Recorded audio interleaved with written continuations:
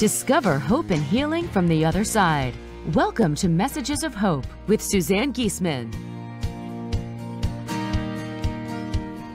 Listen, they're all around you, close as a thought or a memory. Messages of hope. Messages of Hi, everybody. Welcome back for a special episode of the podcast, part two. We didn't know there was going to be a part two when we did part one to an interview with Dr. Jim Krag, a medical doctor, psychiatrist who's very interested in a topic called the noosphere. But I want to tell you that's not the way we put the topic on the YouTube thumbnail. I'm not one to resonate with doom and gloom and hype, but I knew that if we put a title like What is the Noosphere, we would not have captured a lot of people's attention. So my wonderful assistant, Lynette, gave it the title Will Humanity Be Wiped Out? And because of that title, instead of just a few thousand views, we have uh, tens of thousands of views already. And a lot of questions, a lot of interest in this topic. And a lot of people said, I want more. I never heard of this. It's intriguing. So here we go with part two of the noosphere. But this one is more like, will humanity survive? And happily, it's a very hopeful subject. The answer, we believe, is yes. And I would like to bring back into the interview Dr. Jim Krag. Welcome back, Jim. Hi, Suzanne. Thanks for having me. Yeah, and we were talking beforehand that uh, you you thought that the twenty six thousand views we had so far was pretty good until you saw some video about a cat that had like several million views, right? it's good for humility, isn't it? It is. Oh, but speaking of views, before we get started, I do want to remind everyone I'm going to be channeling my guide Sanaya, who you'll hear some excerpts from them written out in this session. I'm going to be channeling them 100% for charity for Care Camps for Kids, a uh, beautiful organization that sends kids with cancer to camps in the summer so they can get away from all the mm. sickness and and simply be a kid. And that is more healing than often anything we can do for them. So let me throw up here for a second, throw up on the screen here a little bit of a notice about that. If you go to my website, suzannegiesemann.com, just scroll down a little, you'll find some thumbnails there for details on that November 20th live channeling event and all registration funds, which are up to you how much you contribute. Go directly to care camps for kids. And anytime I channel Sanaya, the energy is palpable. We all learn something and we feel this incredible love and sense of community. So I hope you'll join us. It's going to be another wonderful event. So thank you for that. Now, Jim, we talked about you starting with a recap of the the highlights of session one. It was uh, it was nice to talk about the noosphere, and I enjoyed it. And one of the main reasons we did this was because Sanaya had mentioned the word a couple of times in in um, passing, and I thought it was very important. The, Teilhard also spoke. Teilhard de Chardin is who we're talking about. He's the originator of the word noosphere. He lived from 1881 until 1955. He was a Jesuit priest, scientist, paleontologist, geologist, and uh, and uh, mystic, really trouble is he is very difficult to read and and i can attest to that because i feel several a lot of people wrote to me and emailed me that they were interested in the subject. I dove into the, the subject. I like reading his works as interpreted by others because when i read his mm. his words translated from french into english it went right over my head first to admit it. It's it's easy to do partly because he's from yeah he's a man from the two centuries back 1881 he was born and so he they, they, they, he wrote long long sentences sometimes a whole paragraph that's one sentence. And plus it's just a different way of thinking plus the translation plus the science. So there's a lot. And he was too scientific for his theologian friends and too theological for his science friends. So he kind of fell through the cracks although really he ended up being one of the more influential thinkers in the end of the 1900s for sure. Definitely brilliant. And and i i totally resonate with his theological uh, assumptions, beliefs. Right. He, he, he definitely believed in consciousness being primary and that consciousness preceded life and and even in early life consciousness was present and then it became much more manifest as the very complex organism of Homo sapien came about. So it's but it's not that we're originators of consciousness, it's we're we're reflecting consciousness, which is much more in tune with the Vedic concept, although he really wasn't into Vedic philosophy or Indian philosophy, but it really resonates with that. And also very much with some of the new newer scientific ideas of quantum mechanics, where um, you know scientists for a long time have been very um, physicalist, or some would say materialist, where whatever they can see is what's real. But what help what's happening is that people are realizing that material is non-material. Matter is not not made of matter. It's made of of energy, and and there's fields of energy and intelligence, and so there's big changes going on. So there's more people open to this idea now than I think there once was. But you know, while you say all that, it's it, I absolutely concur with that. But it sounds so dry. What I loved about reading Teilhard's work is that he was one of the first that introduced the concept of God being evolutionary, that that everything that exists arises from we talk about consciousness, we can call it God, but it's all about evolving, bringing more love. Love is the key here. Love is totally the key. In fact, I think it's a good point to read this on October 20th. Sanaya had a message that I'm going to read. They're, they're brief and it's fit in with today's topic. Love is not what you think it is. What you believe love to be is but a fraction of these, this energetic force that holds all things together. You experience connection and attraction with another, and you call it love. Yes, this is closer to the idea than a mere emotion. Think even bigger. Think of the force that holds the planets in their orbits. Now think even bigger. Love is the prime mover, the creative impulse of the universe. Now we ask you, how could love ever die? There it is. So I, I, thought I would start with some quotes the, the Teilhard that a lot of people have heard but may not realize it was coming from him. One that often gets read. Um, in fact, I think it was at, at the uh, I, uh, last time I heard it publicly was we were in England. No, no, where were we? We were in France, and the British, the, the British wedding for what was that couple that uh, the prince and the princess when they got married an, an American read this quote by Teilhard Someday, after mastering the winds, the waves, the tides, and gravity, we shall harness for God the energies of love. And on that day, for the second time in the history of the world, man will have discovered fire. Huh. This other quote that we, we hear people say a lot we are not human beings having a spiritual experience, we are spiritual beings having a human experience. He wrote that in the 30s. That's a very common. I had you hear that all the time. I had no idea that was attributed to him. Then this one, driven by the forces of love, the fragments of the world seek each other so that the world may come into being. I love that one because it's like whether it's atom to atom forming a molecule or molecules coming together to form cells or or galaxies coming together in, in a gravitational attraction. It's it's being for being pulling together. And it's that that's like the gravity, that magnetic attraction. That's like the gravity. It's, it's what like, calls all of us to listen to programs like this. We're just attracted to it because this, the soul wants us to evolve in love. It's he also talked about the the individual particle trembling at the approach of the rest. It's sort of like a piece of metal trembling near a magnet. It's like we are on our core level love. So when we get attracted to something that has a similar quality, a being for being, we're attracted to it. So this knowledge would attract people. Let's see. Uh, then this is a nice one. There is neither matter nor spirit in the world. The stuff of the universe is spirit matter. He saw a very nice unity between the two.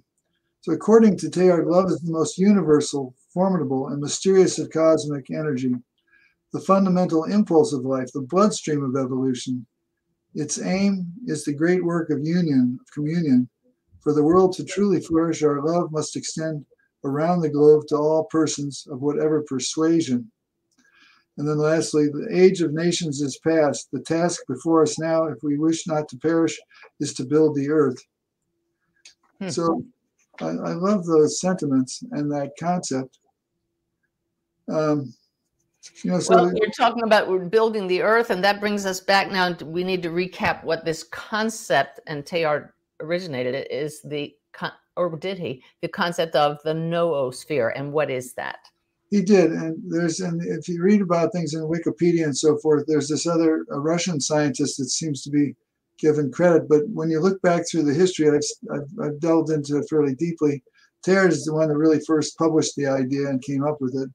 But it's interesting that Vernadsky, a Russian geologist, also is credited with that. Doesn't matter in a way. New ideas come up together, and we all own all of them. But but the idea of the noosphere is that just like there's the geosphere, the Earth, and the biosphere, life, the sphere of life, out of uh, the past million couple years of evolution, the, the noosphere, the, the sphere of humans, has come about, and it encompasses everything that's related to humans. Suzanne, it's it's it's whatever we see that's related to humans. And that includes the intangibles, of course, our roads and our and our houses, and that's that's part of the noosphere, but also the intangibles, such as our laws and our cultural um, mores and, and our governmental systems, and also the the television and, and internet waves that are passing through us. Anything that's related to humanity, that since it's a spherical planet, it goes around the planet, and so there's this sphere of humanity.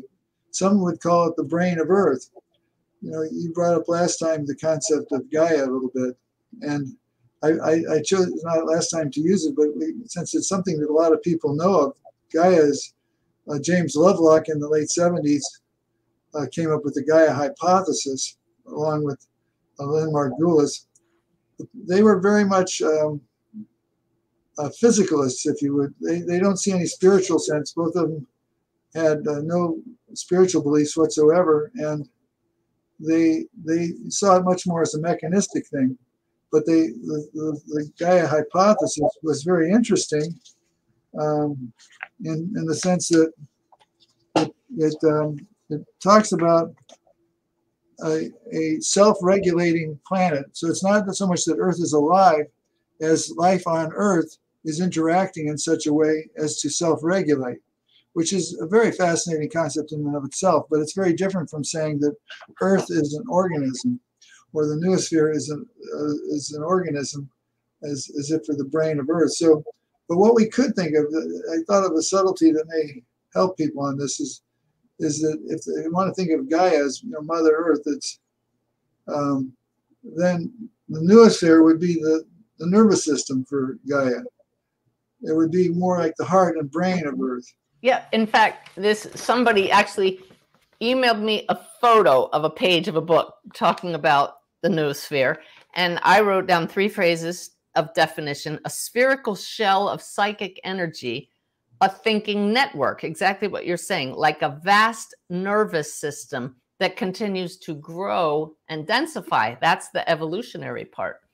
And intensify very rapidly. One of the one of the, the phrases that I used last time was that if you put the whole history of the earth, four and a half billion years into a one calendar year, that humans would be just on the last few seconds of the last day of the year. I mean, it's really hard to think about. Even dinosaurs came in the last week of December. And so it's like we're talking about a big span of time. But the nice thing that I give, I feel a lot of hope for is we're babies. You know, the, the noosphere and humans are just babies. We're, we're, we're moving very quickly. And because of, uh, you know, we've got our sun, before our sun poops out on us, we've got another few billion years left to go. So there's a lot of hope that things can change.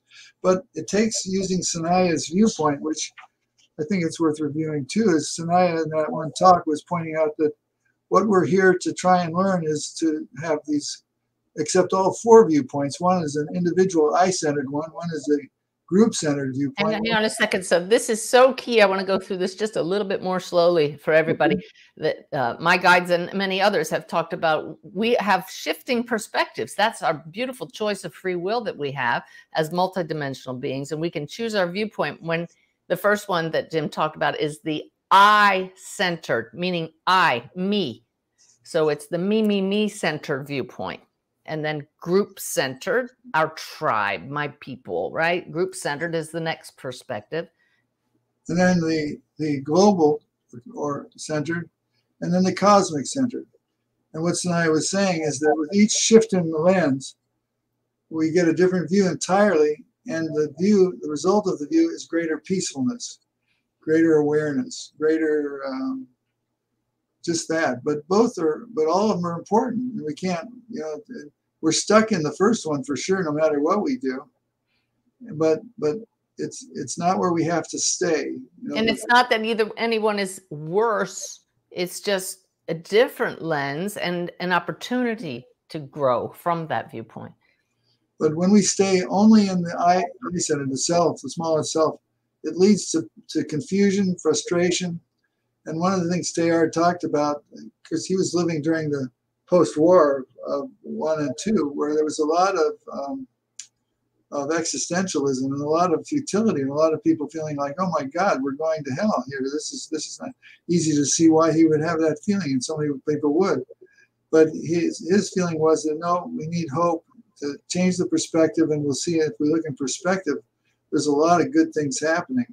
Yeah, that's true. I was thinking about that too. That right now we look around and we we say the world's going to hell. It's really awful. But you look back at the at the millions of lives in World War One and World War Two, and hopefully we don't get go any further than that. And that's what discussions like this are all about, showing us that the change in perspective changes everything. You know, one of the words you introduced me to in one of your talks was cymatics, C Y M A T I C S, cymatics. And, and I so I looked on YouTube and there's some fascinating videos hmm of people they have these plates or dishes where they sprinkle some sand or some and then they put a different tone on it and then it goes into a pattern and then they go to a different tone it goes to a new pattern. So i thought of a metaphor if if we were one grain of sand in comparison on that plate and they started the vibration going we think whoa what's going on here wait a second this is something terrible is happening i'm vibrating all over the place Huh. and we wouldn't see the pattern that's coming about. We wouldn't see the positive change, the beauty of the pattern that's coming about. Wow. And I think that's that's an interesting way to think of the changes we're in because we're in the self-centered, the I-centered viewpoint instead of the global-centered viewpoint. What we're feeling is the trauma of the vibration. We're, we're feeling the, the, the scariness of the change. Boy, that is a great metaphor. Y'all should Google later cymatics or go on YouTube, look up cymatics because really it takes a just randomly scattered sand and turns into what look like crop circles, intelligent patterns. And that is beautiful. You're absolutely correct. We can't see the bigger picture. My guide Sanaya talk about that all the time from this limited viewpoint, but in expanded states of awareness or mind journeys, even when in normal waking consciousness, we can get at least a somewhat less limited picture. One of the things I thought uh, with our review is, is it'll help if we address some of the questions. So why don't we tackle some of those at this point? I love that. And what Jim is talking about is the questions that some of you submitted after watching the video of part one. Some of them quite challenging, actually. Well, you're going to be doing it from which viewpoint, Jim? Yeah, exactly. Yeah. Okay. We'll try for the, the global cosmic the view. global cosmic noospheric point of view. Or, but we can just show the difference the change in viewpoint makes. So I'll read the question. And let's see. One gentleman said, uh, several people commented on a wariness of global or large government organizations because we talked about us becoming more of a global uh, species, right? Yeah, he, he saw the tendency for for humanity to converge, to coalesce, to cooperate. And so what happens is over time, I mean, at one point there were just hunter-gatherer societies, then there were fertile, you know, there were the Fertile Crescent and these, and then it came some early empires, and and gradually it's gotten bigger and bigger, and and and as the result of of some of the great wars, we things have even gotten bigger. And and so it's valid for people to be concerned about what will happen in, in terms of of how that will go for us. And and I, I I thought you know there's no promises in what's going to happen there's no guarantees but the tendency he saw was towards planetization where we increasingly as that one quote that I read Are you talking about Teilhard de Chardin? yeah yeah the age of nations is past he said the task before us if we would not perish is to build the earth and so how, how is that going to come about? And I thought of it for me as a physician, one I think biologically a lot. I think of the human body. So I thought, you know, in our bodies, the estimation is we have about 37 trillion cells. Now that's a lot of cells, and you know it's inconceivably large. I won't go into how the people have estimated that number, but 37 trillion. And most of the time, you know, so my body has is a society of individual cells most of the time, the cells get along. You know, there's they're following the law, so to speak, of natural law of how to take care of each other and how. Now, each cell has to become individualized. Each cell has to become maximally diversified for them to work. And that's parallel, parallel in society to a successful society will have free individuals that have maximized their individual potential. But here's the key, and this is a big one they're part of a body. So when my heart is beating blood around, it's not going just to some places, it's going everywhere. When, when my lungs take in oxygen and, and expel carbon dioxide, it's taken from every cell, not just a few select cells. When my antibodies are, are fighting some virus, it takes care of the whole body. So society is going to have to, if we're going to be planetized, we're going to have to figure out and accommodate how to live in tune with natural law, the way our bodies do, where we're where we're individualized but part of a whole. It'll be part of the. Go ahead. You look like you're going to say something. Well, it's just that taking in mind the metaphor you used of us being uh, humanity in the history of the world, the, the universe, cosmos, just the last few seconds of the full year in that shrunk down existence. We are so young that we can't even conceive. We can conceive of it now, but it's not ready to happen. But uh, let's bring this back to the noosphere. That being a network could actually draw us towards that. Do you agree? Absolutely. Absolutely. Because one of the things he talked about is the increasing need for, he used the word sympathy, which is a parallel synonym for love, for cell to cell, so to speak, or human to human. It won't work unless we can develop that. In fact, one of the best laws that, that was ever developed was the golden rule of treat others as you wish to be treated. And it's come up independently in, in various cultures. Virtually every culture has come up with a different way of saying that same law. And so if the body can do it, we can do it. There's only, you know, people are really worried about the size of the population on the planet, and justifiably so. We're up to about 8 billion people now but 8 billion compared to 37 trillion is nothing i mean that's like so if the if my if if, if each of us has a society of cells which are cooperating and functioning in harmony why can't the whole earth which is also a growing organism there's no reason theoretically why this can't occur it's just hard for us to see it happening but but in terms of the question of could it be or is it totally unrealistic it's very realistic because we have models of it all around including in our own body of how this can be, but we'll have to follow certain principles, certain ways of behaving. And you know what occurs to me is our body is imbued with consciousness, and it's the same consciousness that is coursing through every organism, every creation. And so, if we can simply learn to stop being so I centered and allow consciousness to flow and unite all of us with the noosphere doing its job of magnetizing us towards each other, then there is the hope for humanity. Absolutely. Absolutely. A lot of hope because we're changing. I mean, look, I don't know how many people are listening to this today, but all of us are hoping for more hope or helping for more love. And we're all in the process of developing it. And more and more people are. I see a lot of uh, p- positive changes. There's so many non governmental organizations that have been springing up that are very generous and loving and caring organizations. They don't have to do that those are all society, evolutionarily, these are very new things and they're just popping up all over the place. And, and they're designed, it's, it's a self correcting mechanism where the noosphere is working to bring more orderliness. But where does order come from? It comes from connecting to pure consciousness, which is the basis of orderliness. That's so, it. to be successful, our body taps into natural law.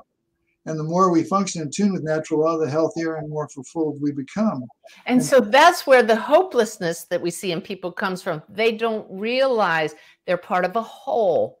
Exactly. If you think you're separate and individual and acting all alone, you you would give up hope. But the more you sit in the silence and sense your true nature that's right here, you know that we are part of this one complete whole. And the noosphere is just one level within levels and levels and levels of connection. It's absolutely right. And the one of the reasons why I feel very passionate about promoting this concept is that I think words words are very important concepts.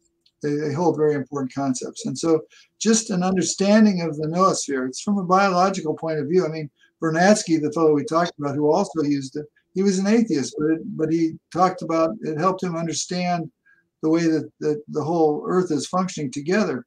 So the point is that it's a biological concept, but it, it supports the concept that we're all connected, that we're whole. And, you know, words make a big difference, don't they, in concepts? I was thinking recently, you know, Galileo was is accredited with being one of the really the forerunners for helping us change from the, the sun moving around the earth to the earth moving around the sun.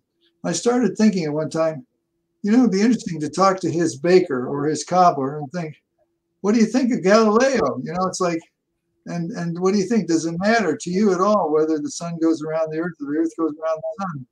And and I don't think that that knowledge made much difference to people. Hmm. But we were raised with that concept that the earth goes around the sun and that we're in a solar system. And it, it causes us to think much bigger, much more broadly. It's expanded our view.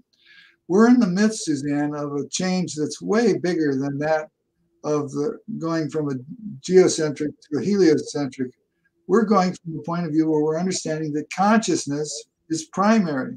Yeah, that is huge. I mean, and and and the and the concept of the noosphere feeds into that very much so because it helps us understand the network that we're connected with. And because then, consciousness is indivisible and flowing. Right. Yeah. Uh, Dynamic.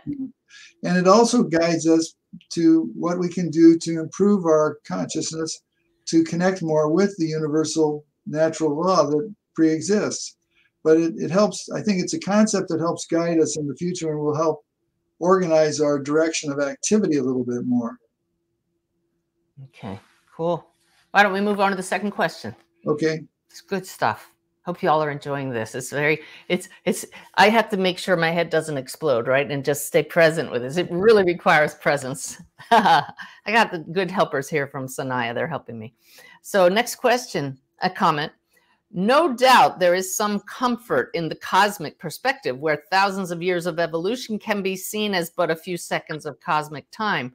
But can a focus on the cosmic ameliorate, lessen the immediate problems and pain of the I perspective of a single human life, which is, after all, valid and cosmic, a view as any other, and is apparently the one we were all sent here to deal most directly with. Well, that's a long, deep question. It is, but I like it, and I, I, I mean, I think, and I, and when I think of that, first thing I think of is Teilhard. And since we're focusing on Teilhard, it brings me to him he was a priest, right? A Jesuit priest, and he lived during World War One, which was a terrible war that uh, we all know about.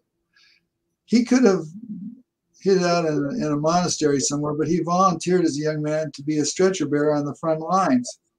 So, what's my point? My point is that having this broad view does not in any way mean you don't have sensitivity to the pain and frustrations and fears of individuals. It doesn't mean, as you pointed out, that we don't when when we have this self or i-centered viewpoint it doesn't mean we pretend that that's not true you know if we stub our toe it hurts it's nice to be spiritual and broad broad-minded but it hurts and we have to deal with that pain and he he did and interestingly it was during the it was in the trenches that he started writing about the noosphere and the spiritual mm-hmm. nature of humanity which is really amazing i think so my experience has been that, as I already mentioned, some of these non-governmental organizations that help people with food or clothing or or or stress or whatever. You know, there's so many of them. We're cleaning up the environment.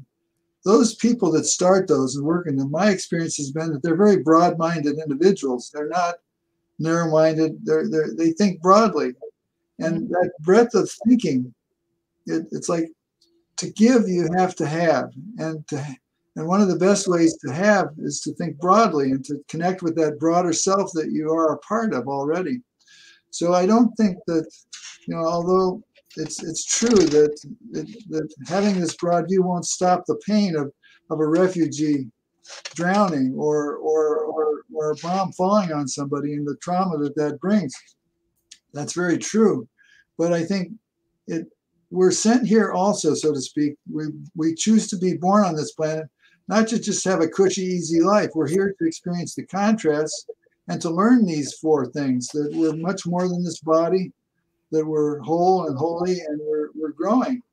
And so, you know, I think that one of the, we're here not to just to have, you know, have everything nice and everybody to agree, but we're, learning through contrasts, knowledge and experience through these combined opposites. And and the, the, best lesson to learn is how to give and receive love. So that comes through being in the trenches, so to speak, like Teilhard was. You know, when I I finished the show last week, my, or two weeks ago, the first one with you, my husband was uh, discussing it with me, and he was so impressed by Teilhard, the priest who volunteered to be the stretcher bearer, and he went and he Googled him immediately. He said he even won the French Medal of Valor in the war. So definitely, I love how you brought him into that with that.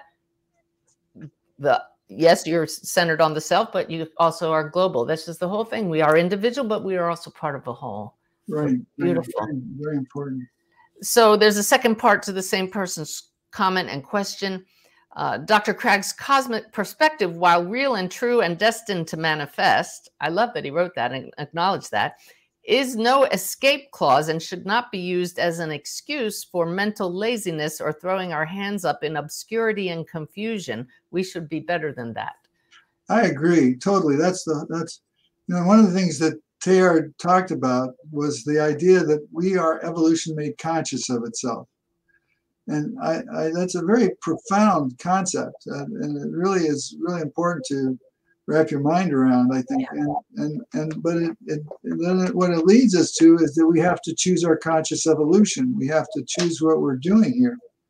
And so we need to seek solutions. We need to it, it, as I said earlier, I don't believe that the future, the way that we are now, we, we as humans, and the way the noosphere is, we, we can't argue that we're the preeminent species on the planet. In fact, uh, some would say we're a cancer on the planet.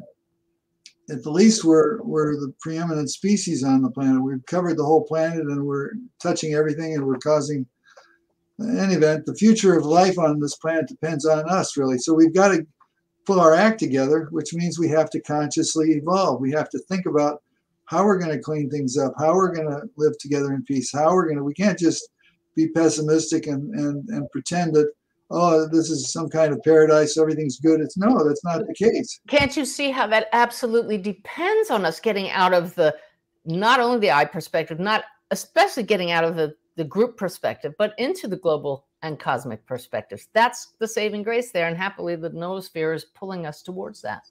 Yeah, I think as we coalesce together, we can't think any other way other than together. We've got to figure how we're going to do this together. Even the nice analogy that uh, you brought up that Sanaya has of, you know, we're it's like one tree, one tree of life, and one tree has lots of leaves on it. So it's like we we're all one tree. We need to be conscious just like our back to the example of me with the body, we're trillion, 37 trillion cells. We this hand has to be conscious of this hand. We have to work together, even though it's far apart.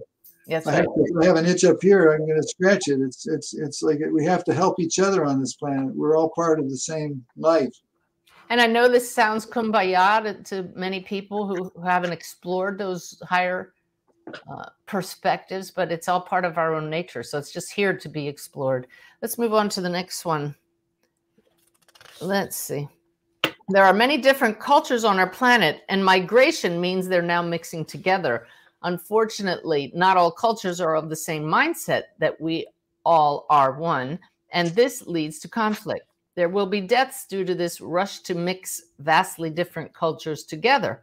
This used to make me angry, upset, and worried, but now I try to focus on what I know to be true and that there is no death and we are all evolving together, just some at a different pace to others. Well, that's really true, isn't it? You know, when you look around on Earth, there's pockets of organization, there's pockets of tolerance, there's pockets of kindness, and there's pockets of really intolerance as well. I, uh, this question leads me to thinking about Afghanistan as, as a kind of a caricature example of, particularly for women, but also for men, of of intolerance and, and restrictiveness. But but now it also makes me think, since I talked about immigrants last time, and this is dealing with immigrants and mixing of cultures. Think of an Afghan family that, that immigrated, or you know, it's refugee, became a refugee in Sweden or Tulsa, Oklahoma, or somewhere. You know, it doesn't really matter. Somewhere in in in the Western world where they're they have an incredibly different level of freedom and much, much different experience of tolerance. And think of their kids going to school, how they're going to experience things. But now let's extend it again. Don't just think in one generation. Think of the next two or three or four generations. What are the relatives of the Afghan family that used to have heritage of Afghanistan? How are they going to be behaving? The potential is great, great that they're going to be living in a much more free, much more open, much more tolerant society. So I do see progress potential there. I mean, I've seen it in immigrants in many places, which is one of the reasons why I think having having a mixture of cultures is a very healthy thing. And the the other thing is think of the people left behind in Afghanistan. Well, they, I, I wouldn't want to be one of them for sure. But even there, they can't expect they can't escape the planetization. I mean, I started. I think about the fact that you know they're driving Toyotas made in Japan. Their their shoes are probably made in Vietnam or China. Their cell phones are made somewhere in North Korea. I mean South Korea, or then they're designed in the United States. So even there, where there's very great restriction, and and they're they're they're relying on the world to do satellite imaging and and communicate amongst each other. So we're growing. And as you said at the beginning of this show, which really expanded my mind, is that even those products are part of the noosphere. Even those products are part of the noosphere. They they can't avoid it. Again, if we think back to other species, there's no other species that has anything close to what we've got if, if a squirrel in in in uh, in Germany develops some new uh, mutation, it stays there. It doesn't doesn't go over to uh, you know a squirrel in Arizona, and and yet with the new with the noosphere with human society, if we develop a new tool somewhere, a new invention somewhere, it can go everywhere. It, it doesn't have to change or depend on our human genes for it to to be shared. It immediately goes everywhere, which is one of the reasons why the noospheric evolution is going so quickly because we as humans have not backed into the blind alley of somatic specialization, meaning we're not making our bodies specialized. We're relying, you know, if we want to dive deep, we don't have to do like the walruses did and take millions of years. We, we, we, we invent wetsuits and scuba. If we want to fly, we don't have to get new feathers. We, you see what I'm getting at? Is yeah. that even our our communication. Um, you know, it's like the other day I was talking to a friend on cell phones. I'm here in Virginia, and he's in Rishikesh, India. Hmm. And it's like, wow, what's going on here? This is somebody had mentioned somebody one of the questions about telepathy, and I think, well, that's a type of telepathy, isn't it? I mean, it's telephony, but it's telepathy because I could hear him speaking clear as clear as a bell, and there he was, way far away in, in, in the mountains well, of India. Let's just make my work really real. I remember doing a reading for a woman in Azerbaijan. Yeah. And and having and talking to a loved one of hers across the veil who is showing me a pomegranate. And she said, Oh, yeah, that's the national fruit of Azerbaijan. So we're using technology to communicate halfway around the world and talking to someone who is in consciousness only who's everywhere. So as we develop our consciousness, consciousness may become our communication may actually become more telepathic, like mediumship is. Absolutely, and in fact, when you think about, I, I'm not an adept with with uh, mental telepathy, but the only one I've really clearly had that tie with is my wife, and we we love each other. And so when I think that the, it's easiest between people that have sympathy, have connection, but as Teilhard talked about, as the global noosphere grows more tight and as we develop more sympathy and more love for each other, I suspect that the ease with which we will have telepathy occurring will be greater and greater. That is that's one of the key points. If we could just highlight that one right there in this program, it's that this noosphere is developing more tightly and we telepathically communicate using love. When I when I start a reading, the first thing I do is establish that heart connection with my client and with their loved ones. And that's what makes the communication more clear. So I love what you say there, Jim, that as we come to love and respect and appreciate each other, our communication will increase between each other. And that just becomes this evolutionary uh, snowball. You know, that exercise you sometimes have people do at your workshops where you have them send out a message to somebody and ask them to contact you it wouldn't work if it wasn't with people that we knew and loved. That's right. but as we get more and more people that we love and connect, it'll be easier and easier. It'll just be like, and again, I, I think when, okay, if I dial my friend, punch, punch, punch, punch, punch, some number, that signal goes all around the globe and finds him up in Rishikesh, India. Mm-hmm. It's like, okay, now when you sign, when you go and do your medium work, you tune into somebody. You're not punching in numbers, but you're calling them up. It's the same sort of a thing. Yep. In fact, you know, I want to comment on the, the fact that your mediumship work and and and people like Bruce Greyson's work with near-death experiences and Brian Weiss's work with with with uh, past life re- regression and things like that.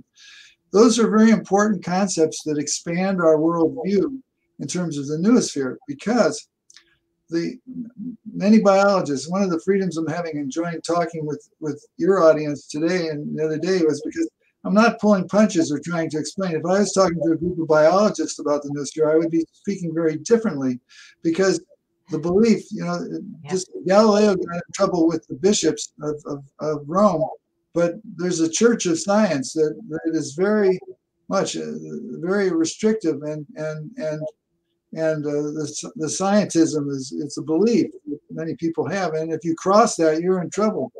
You know gary schwartz has talked about this and others that are involved in research on these sorts of things is that they can't get published or they can't get tenure. It's it's so but there's a change taking place.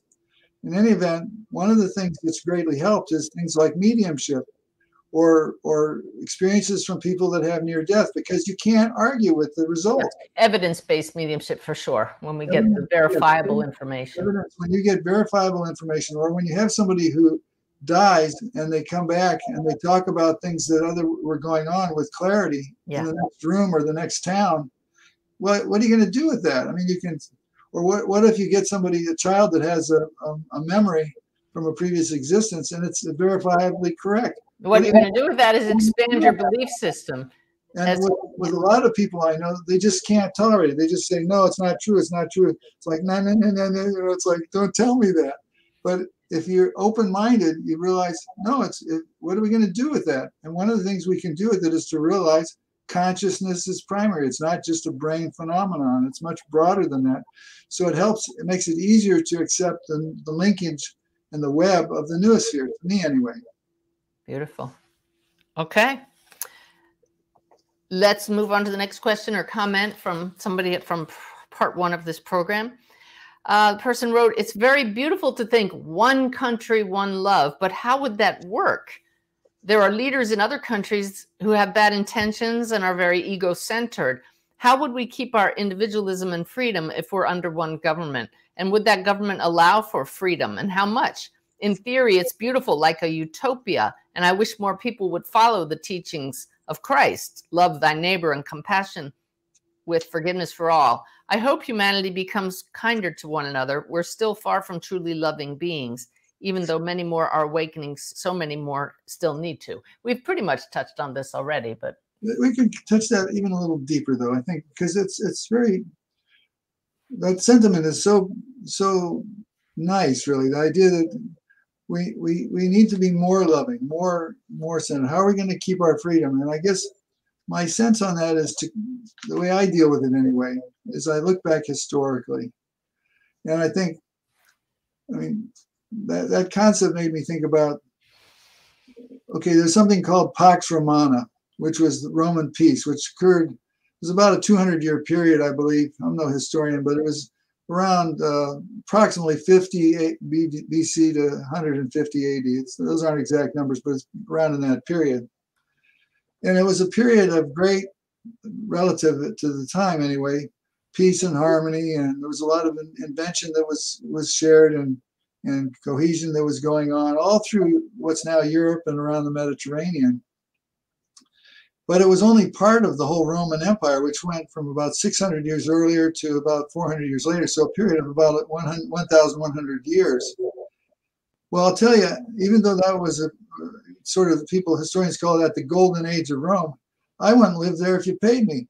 I, I went, I mean, where we are now is so much more advanced, so much more peaceful, so much more supportive of humanity. So in 2000, measly 2,000 years, we've grown hugely. So again, when you think of the Earth, the, the history of the Earth and the calendar year, we the, the Roman, you know, it was, it was, just a few seconds ago that Caesar was murdered, and and relatively speaking. And so here we are, mere 2,000 years later, and look at the difference between the Pax Romana and what we are experiencing today. And to recap what my guide said, those were the dark ages and these are the dim ages, right? So it's These an improvement. These are the dim ages. But you know, that, that, that brings up a concept that I really like the Maharishi used to talk about in terms of if you have a dark room and, and you and you want what do you do to get rid of the darkness? Well, absolutely there's nothing you can do to the darkness because darkness isn't something. Darkness is an absence of photons of light. So even from a point of view of physics, we could say that darkness does not exist. Now, we can certainly say that the state of darkness is a real descriptor, but it's not a descriptor of something that is, it's a descriptor of something that isn't. Hmm. So, how do we get rid of the darkness? Well, obviously, we bring in light. And even one little candle in a dark room that's very dim, but you can start to see your way around. We're, we're in the dim ages, but it's way better than the total dark ages. And we got a bunch of candles listening and watching yeah, right yeah. now. Yeah. Exactly right. And so we're in the process of turning up our light and learning how to do that and growing with that. And in fact, let's let's let's turn on to that. Let's go to that because I realize suddenly that we're nearly done. To me, the concept of where, where evolution made conscious of itself means we have to consciously evolve. Someone else had said the comment, give me an example of something I can do to make That's my right. life come up. That's right. So I, I, think that's a really important, very important concept to look at is what can we do as individuals? And and one of the things that I think is important is that, you know, as a psychiatrist for ages, uh, the whole field of psychiatry and psychology has been looking at problems and pathology. But in the past decades, really since around the late 90s and, and the early 2000s, there's been a whole movement to look at positive psychology. What makes life worth living? What makes life fulfilling? and and and so I've been doing a lot of research on that since I retired, and there are a lot of things that can be done, and and and one of the things that I think is really important is meditation. You you put that forward and it's something that you you you talk about regularly and the need for people to do. But the concept of why would meditation be so important to turn up our light? Because we're full of light already. The problem is we're we're hiding it. So meditation doesn't bring on more light; it gets rid of what's hiding the darkness, what's hiding, you know, what's causing the darkness, the things And that are. some people may not even know that light is within them. They don't, they haven't, it's so obscure, they have, they just don't realize it till you clear away the clouds. There's, there's a lovely saying, and the, the Bhagavad Gita is one of the, the ancient texts that, from India that deals with with yoga and union. And there's this one verse that I especially like where it talks about Arjuna, Lord Krishna is having a conversation with Arjuna, and he says, "Be without the three gunas, which are the three, which are the qualities of life. Uh, be without your story, is the way you would maybe say it." And and it said, "Freed from duality, ever firm in purity, independent of possessions, possessed of the self." So it's like when you meditate, what you're doing is you're going away from the duality, all the separateness. You're going towards a more inner wholeness you know you're finding purity. That's the pure consciousness. You're not just in the filters on the outside. You, you go inward to a level of purity and pure consciousness.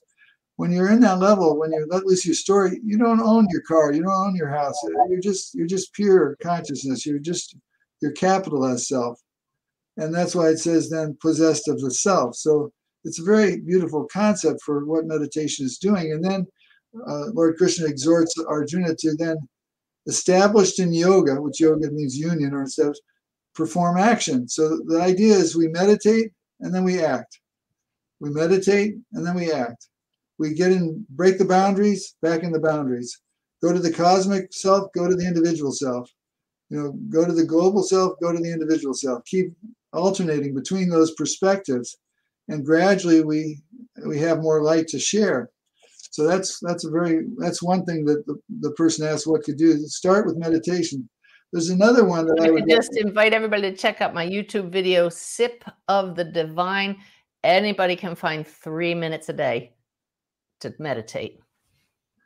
there's another one that I like a lot. Again, it seems very simple, but it's far from simplistic. And there's good research that have been done at different universities to support it entirely. And it, it's it's it's to deal with more gratitude. I knew that you were going to say that. And that's it. Oh, yeah. and there's a system that uh, a friend of mine we've been we're working on. We're just about done with a book on using positive psychology interventions aimed primarily at people with anxiety and depression. But the way we systematize and I'll share it with people here. It's very it helps, I think, is to get a journal, or you could use your computer, and you start by writing the date. That's to look and see how you're doing because change is hard, and so being consistent is difficult. So you put the date, and then the first thing you do is you write about something you've noticed that's funny, peaceful, or beautiful hmm. just a sentence or two. Then the second thing you do is you talk about one interaction with another person that seemed to go well. So it helps you tune your focus towards looking at good interactions.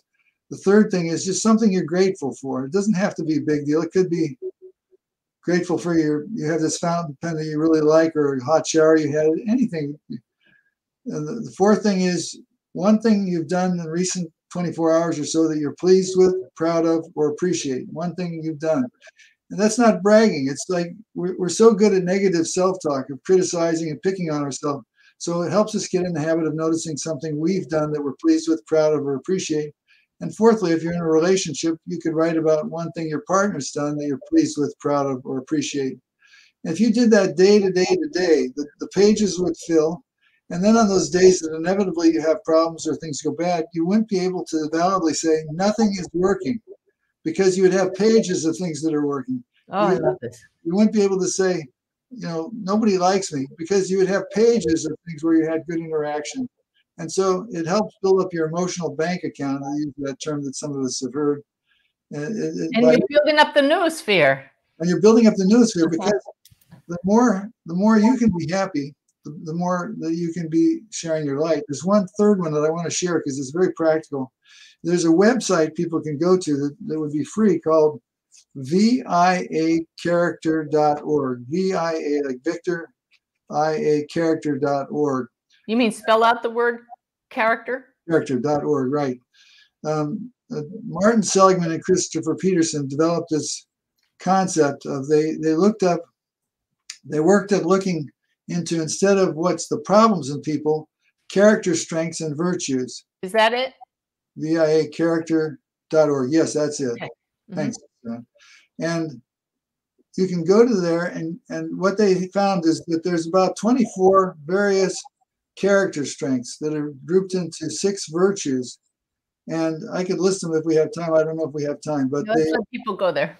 and they can take a brief test for free and it will help them see what their signal strengths are. Mm-hmm. What's the usefulness of that? It, it's helpful to understand where our strengths are. We, we're well adapt with what our weaknesses are, but if we get character, if we understand our strengths and we strengthen them, we find more joy and well-being. So there's three very practical things in answer to that person's question of how you can improve your light is one, meditate, two, work at more gratitudes, and, and three, find your strengths and strengthen them. That is everybody's homework. You all have an assignment. I love this. We love tools, Jim. We love tasks. And just last week, I realized I'd gotten in a little bit of a spiral. I was feeling a little down.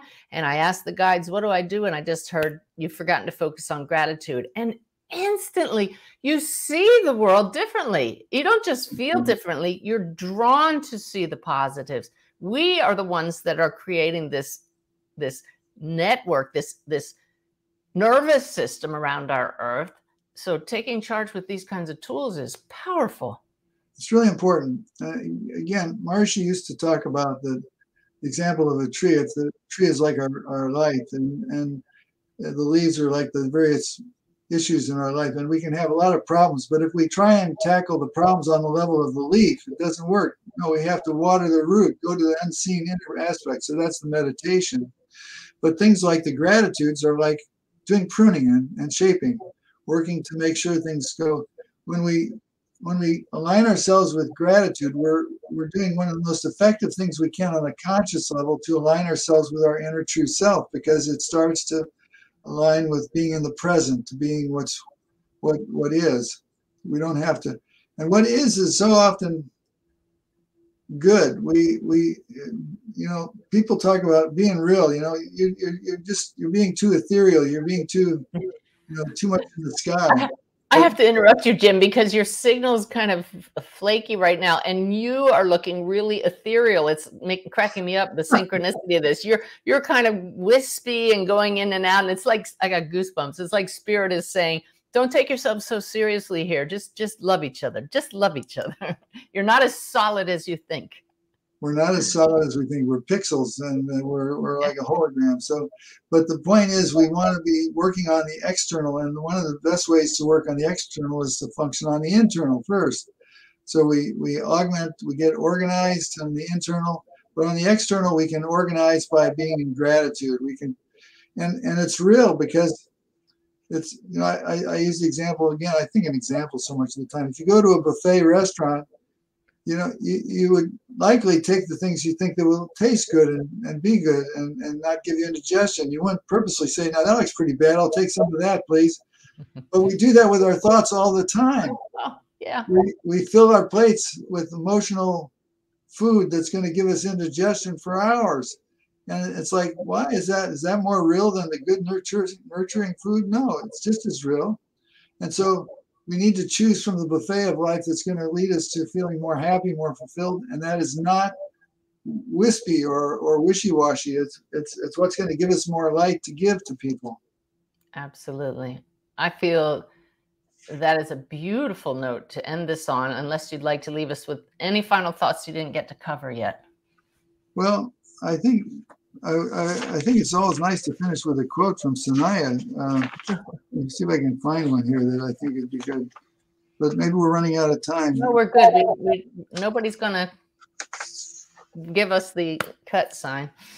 I got I saved one here, but now I got my papers all over the place. So mm. hold on just daily messages from Sanaya can always be found at dailyway.org and any day now we're going to have the Awakened Way app for smartphones, which is going to put those daily messages right in your hand 4500 of them to mm-hmm. inspire you i love what you said jim while you're looking about what you feed yourself you wouldn't put a plate full of nasty food on your plate and yet are some of the conversations over meals are downright toxic toxic toxic i yeah. mean it's like yeah. and people will say they'll share one thing and then say oh that reminds me of this trip when i had this terrible experience oh yeah i had one too it's like if you get an hors d'oeuvre that tastes really good, you would enjoy it. But if you got an hors d'oeuvre that tastes really bad, you won't say, "Hey, waiter, I'd like another one of those crappy hors d'oeuvres." You know, so we should be really conscious of what we metabolize in our thoughts. Amen.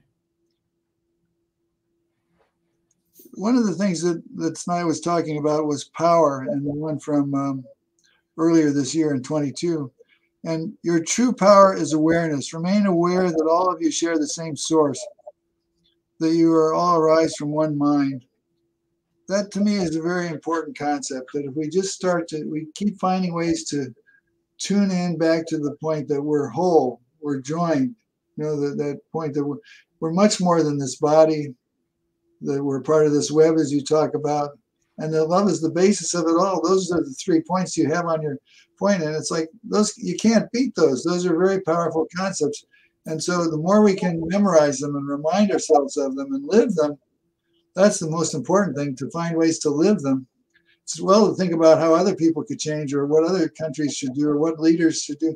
We need to be our own leaders. We need to be tuning into our own natural law and live our life as full as possible as examples and and for the fun of it, if nothing else. Well, we're here for the full experience, and our bodies let us know which direction to go. There's comfort and discomfort, and love really feels awesome. Right. Yeah. Well, thank you, Jim. A pleasure to talk with you. I hope you all have enjoyed uh, hearing a little more about the noosphere, and I I do feel there's hope for humanity. What's your view on that, Jim? I, I totally do. I, I think. I mean, again, the one thing I said last time is since I feel that consciousness is primary and that it's been there all along, it's just emerging now. I don't think that life has evolved this far to extinguish itself. I think that eh, what we need is to keep the broader view that natural law is wise and and loving, and we're we're safe. We don't have to have fear. Beautiful. Thank you so much. So fear not, as Sanaya says all the time. Focus on your thoughts, be aware of your thoughts, and upgrade them. That's the best use of free will. I love you all. Thank you for joining us, and we'll see you here again next time.